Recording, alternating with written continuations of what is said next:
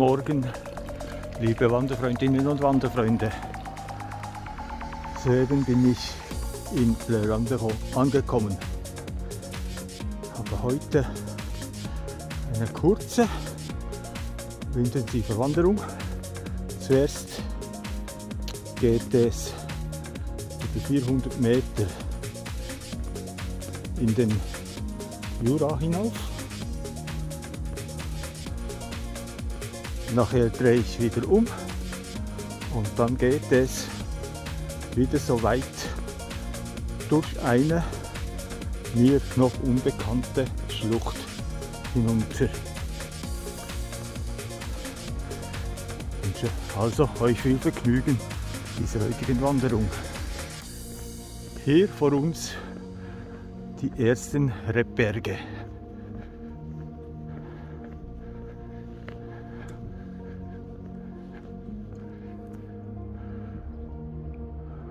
Vorne, wo das Kamin ist, das ist Cressier, der Raffinerie. Da unten das schöne Städtchen Landereau, anfangs vom Bielesee. Wenn ich mich jetzt umdrehe, sieht man hier vorne ein ganz kleiner Teil vom See. Und hier, das ist Erlach, das Schloss.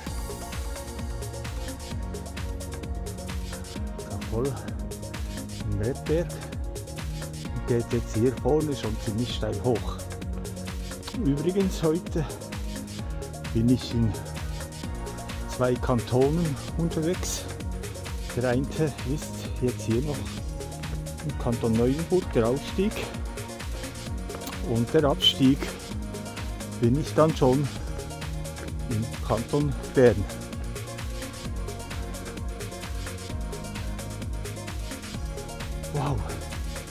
Der Weg wird immer steiler. Fängt ja gut schon an hier.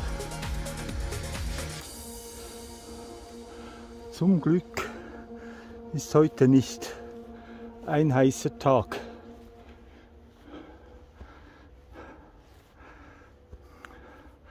Da oben die ersten Treppen.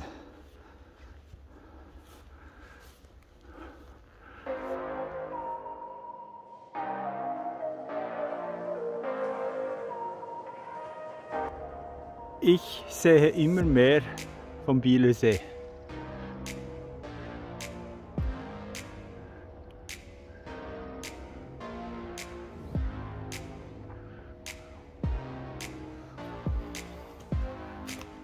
Jetzt geht es da das kleine Wäldchen hinein. Ziemlich ausgewaschener Weg.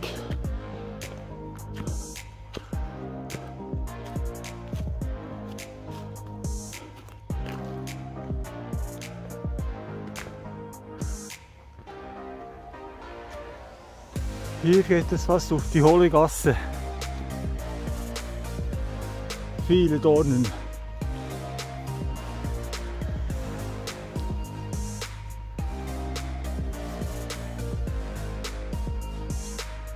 Da unten einen schönen Blick auf den Bielesee und im Hintergrund noch die Alpen. Und das da hier sind die letzten Treffstöcke beim Aufstieg.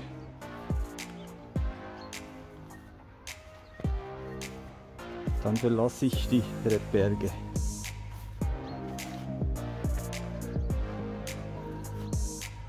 Ist das nicht schön? Die St. Petersinsel.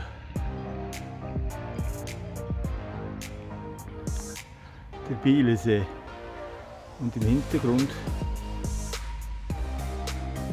noch die Alpen mit Eigemönch und Jungfrau, wobei die Spitzen erkennt man nicht.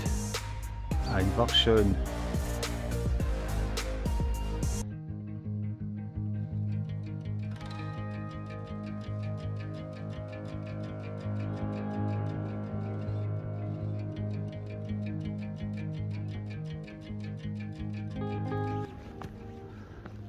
Oh, diese Herbstfarben. Einfach schön.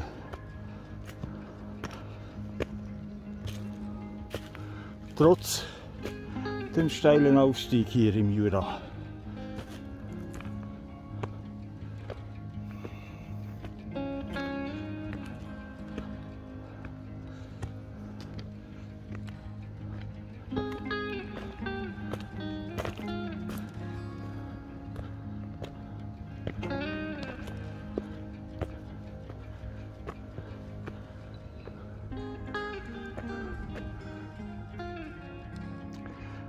Da vor mir habe ich einen kleinen Tunnel aus kleinen Ästen. Ist mal unten durch.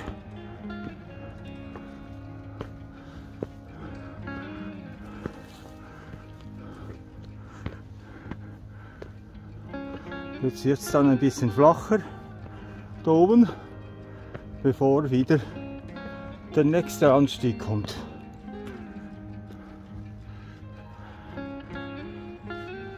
Von hier unten bin ich jetzt hochgestiegen.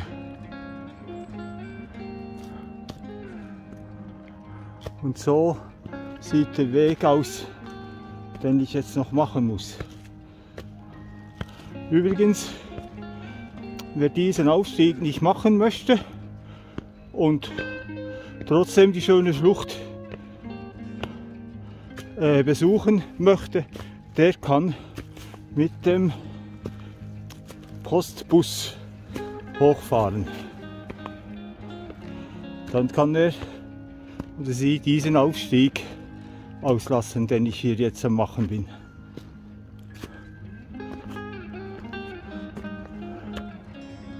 Total verwilderte Gegend. Kommt mir vor, wie ich hier schon in Italien wäre.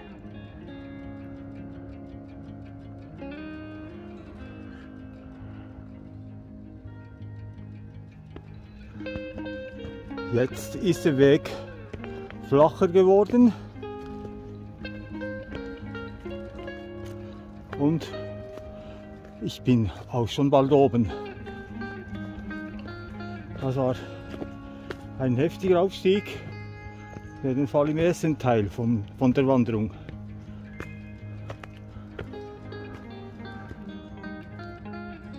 Kaum bin ich aus dem Wald, ist alles wieder flach.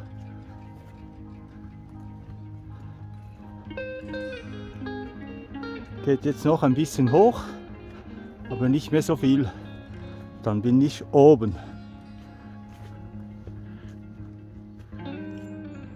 Ein riesiger Picknickplatz. Da mache ich jetzt eine Pause.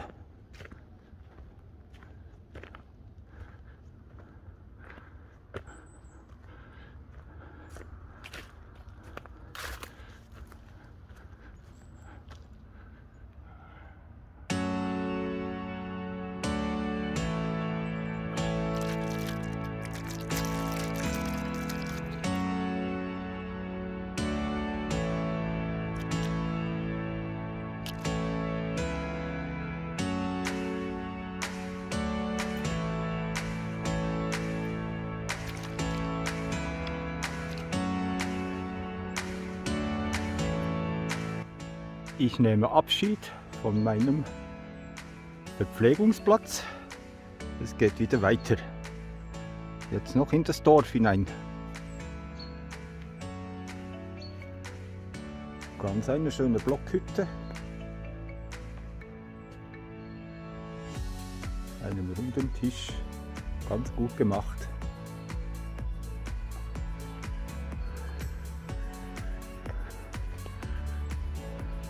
Eine schöne Kirche. Gehe jetzt dann schauen, ob die offen hat. Und das sieht man da geradeaus der Chasseral. Wieder noch ein langer Ausstieg. Aber ich habe jetzt hier oben dann schon die höchste Stelle. Blick zur Kirche.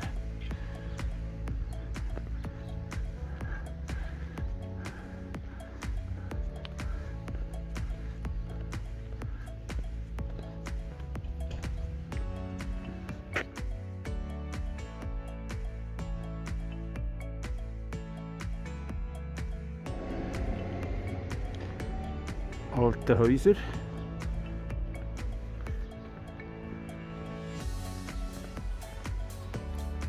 Und da vorne man einen Blick auf das weite Plateau de Diez. Das ist eine Hochebene oberhalb vom Bielesee.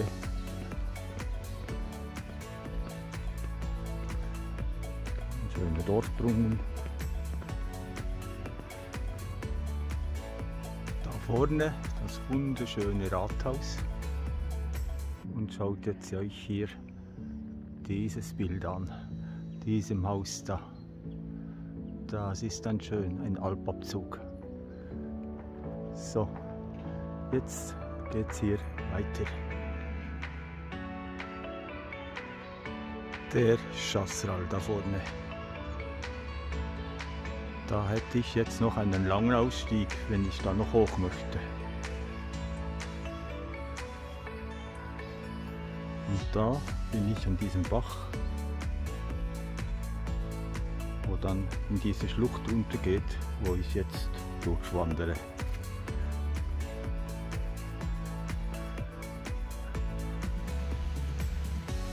Hier fängt jetzt für mich diese unbekannte Schlucht an. Ich habe vorher noch nie was von dieser gehört. Gar nicht gewusst, dass es hier am Bielesee zwei so große Schluchten gibt. Die andere ist wahrscheinlich die größere, die Quanbach, und ist natürlich bekannter als hier diese. Wie gesagt, da ein bisschen weiter unten komme ich dann in den Kanton Bern rein. Da macht dieser Graben, eben diese Schlucht, die Kantonsgrenze. Bin jetzt gespannt, was mich hier erwartet.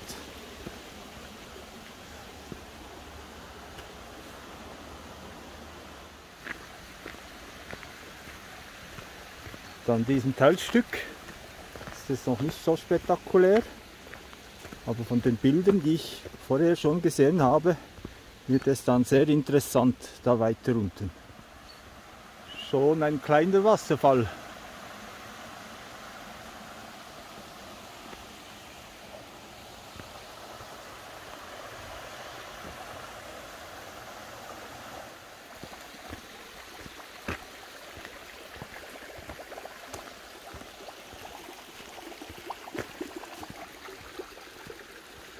ist nicht so sauberes Wasser. Leider stinkt es auch ein wenig. Ich kann mir aber auch vorstellen, dass wenn mehr Wasser kommt, dass es noch schöner ist als jetzt heute.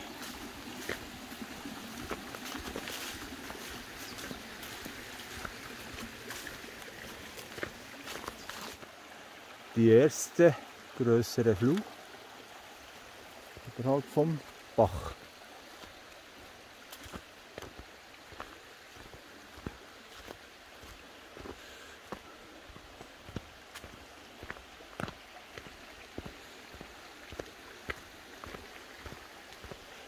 Und ein sehr schöner Weg.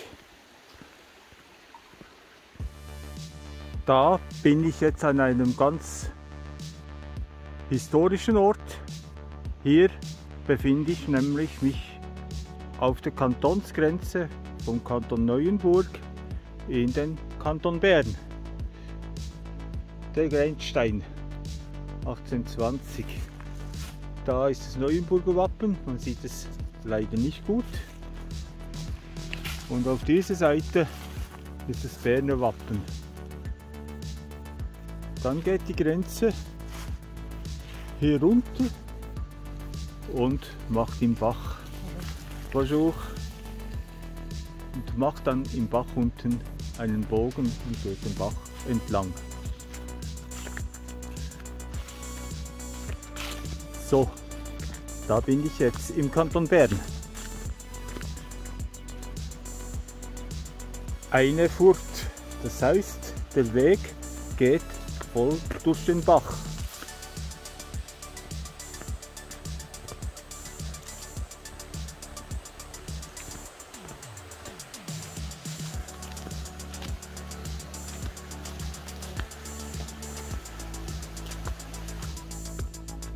Jetzt habe ich den Bach wieder ein bisschen verlassen, da einen kleinen Bogen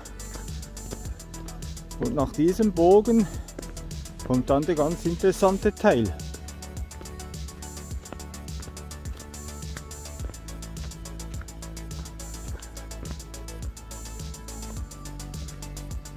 Jetzt habe ich wirklich mit dem Abstieg begonnen. Jetzt geht es zum ganz schönen Teil runter.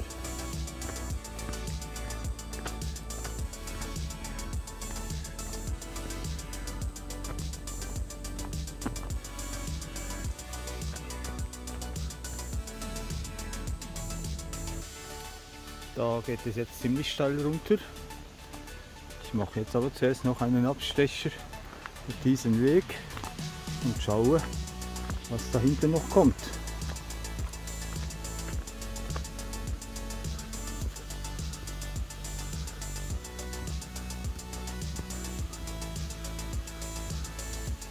Bin gespannt. Wow, da ist der Wasserfall. Hä? Schön, da runter geht. Er hat heute nicht so viel Wasser. Da vorne sieht man jetzt die Treppe, die wir runterkommen. Über einen Flugkopf. Und hier ist wirklich steil unter mir, unter von mir. Da muss man sehr aufpassen.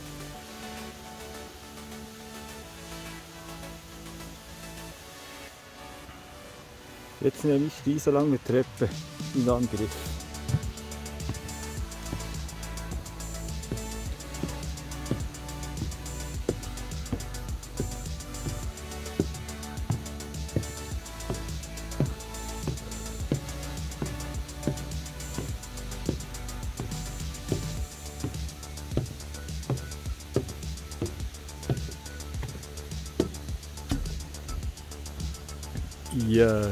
Schön da unten.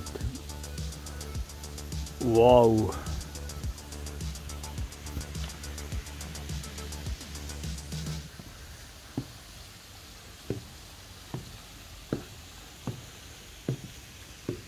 Diese Pflanzen sieht gut aus.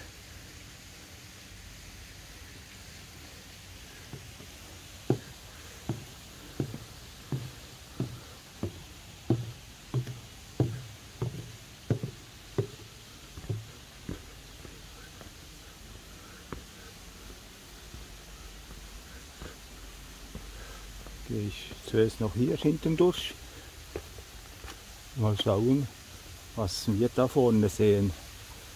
Haha, ist das interessant da. Wow.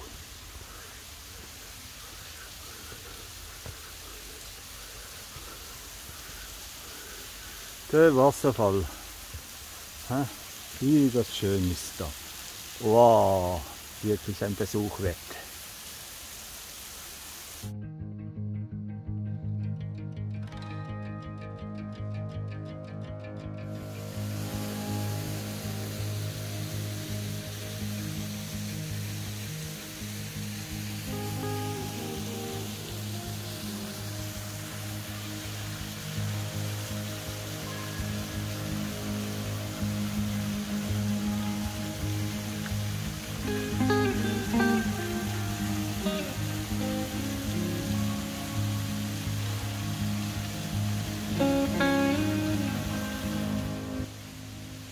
Oh, die Landschaft hier. Es ist einfach schön.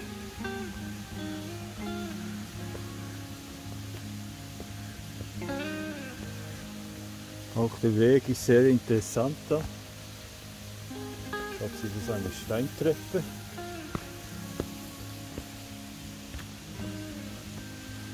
Und jetzt dann noch mal einen Blick zurück zum Wasserfall.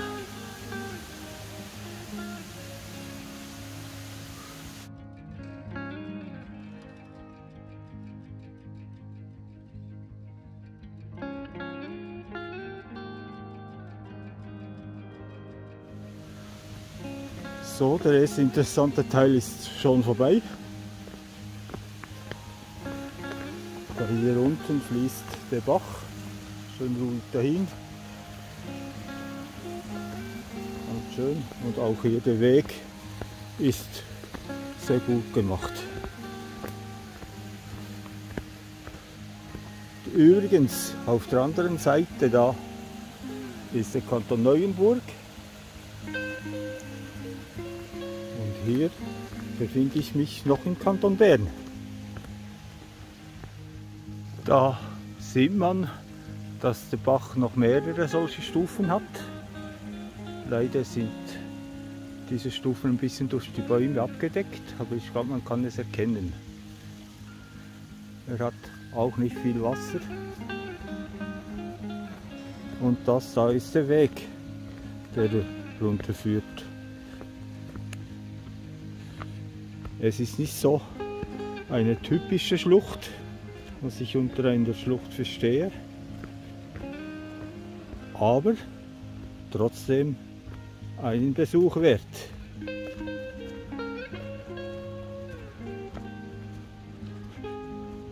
Jetzt kommt dann schon bald der Bielersee sicher in Sicht.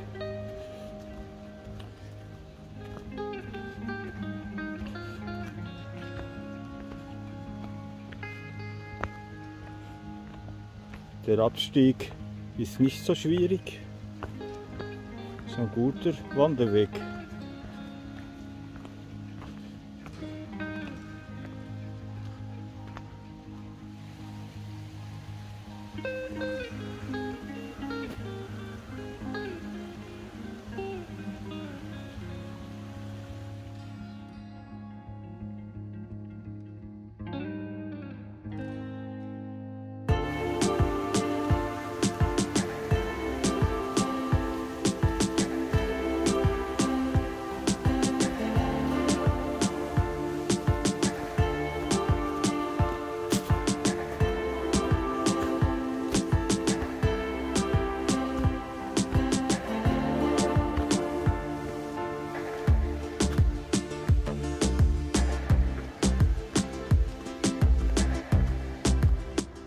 Ganz ein schöner Weg da am Hang entlang.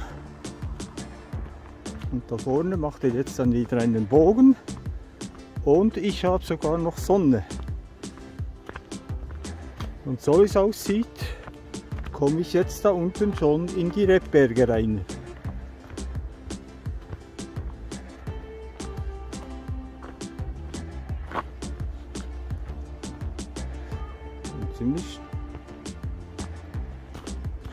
Kurve. Jetzt da hier wieder ein bisschen am Hang entlang. Immer ein bisschen runter. Jetzt geht der Wanderweg dieser steile Treppe runter.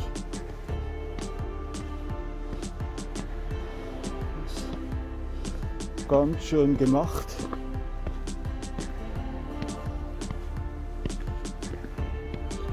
Auf diesen Weg da hier. Übrigens hat es da oben noch ein Schloss. Man sieht es nicht gut, es ist voll hinter Bäumen versteckt. Und es gehört dem Kanton Bern und ist privat vermietet. Also man kann es nicht besuchen.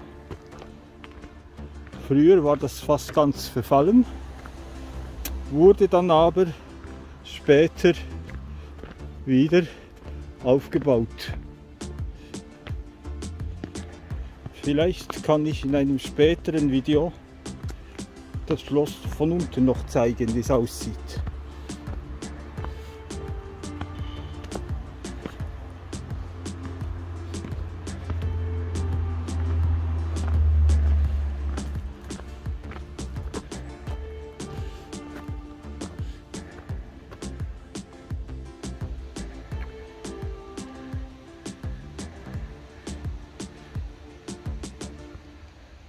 Mein Etappenziel da vorne.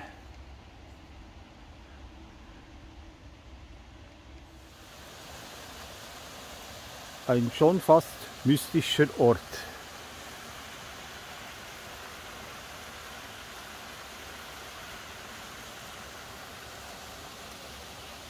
So, jetzt geht der Weg da runter, diese Treppe.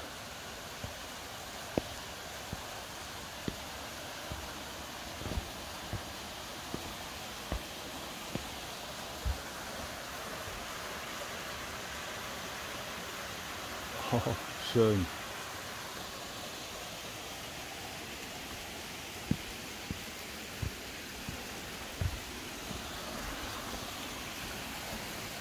Und diese Brücke da vorne. Wow.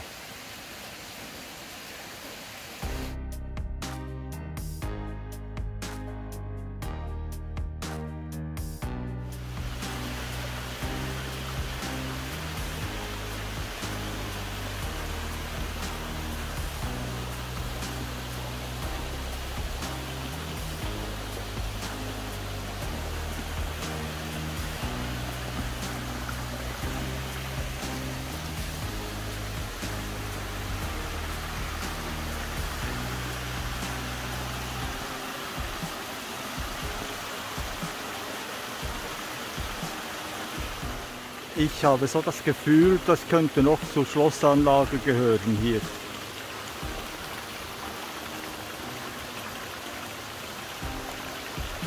Bin mir aber nicht ganz sicher. Jetzt habe ich den Wald verlassen. Hier einen Blick auf Neuenstadt. Wobei das ist glaube ich noch ein bisschen mehr links. Den Bielesee und der anderen Seite vom See Erlach mit der St. Petersinsel. Und mein Weg geht jetzt da hier weiter.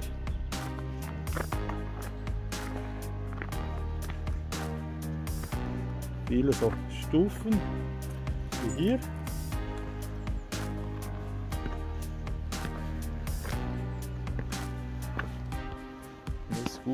Zu machen.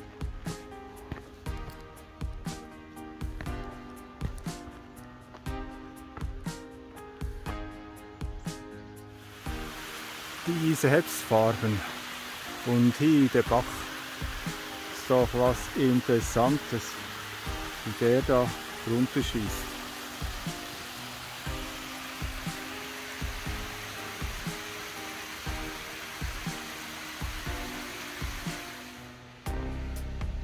Der Abstieg ist sehr interessant.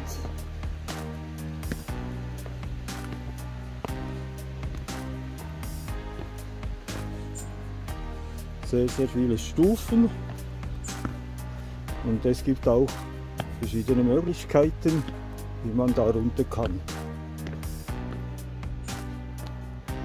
Das hier, ja, diese Stufe da. Und hier hier sind Rebberge.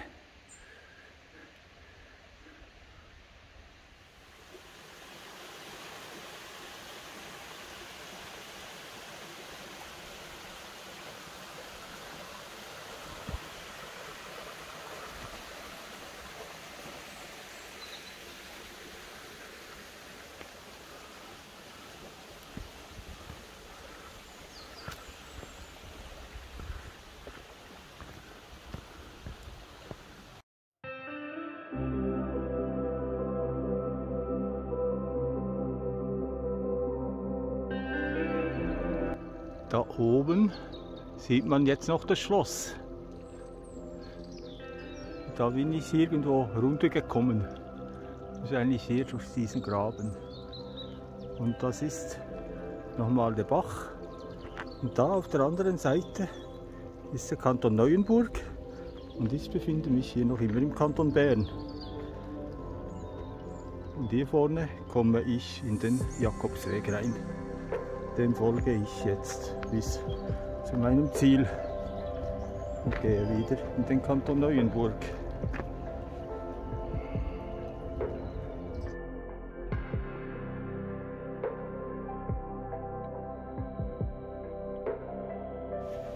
Noch einen Blick auf das Schloss, das ich leider nicht besuchen konnte.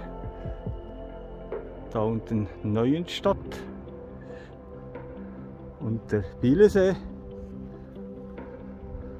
und hier vorne komme ich jetzt schon wieder an mein Zielort.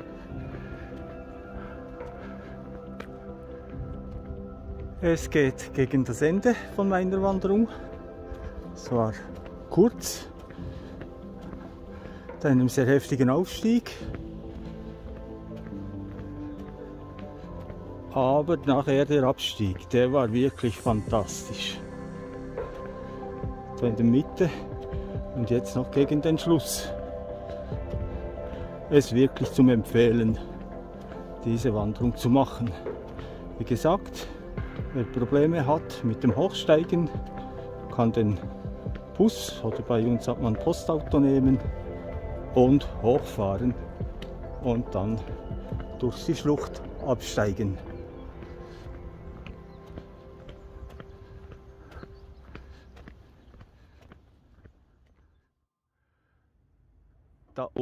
Wo das große Haus ist, bin ich heute Morgen aufgestiegen. Da der ganze Jura.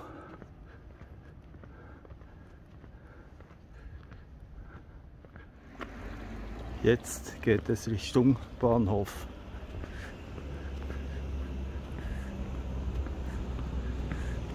Da hinten durch.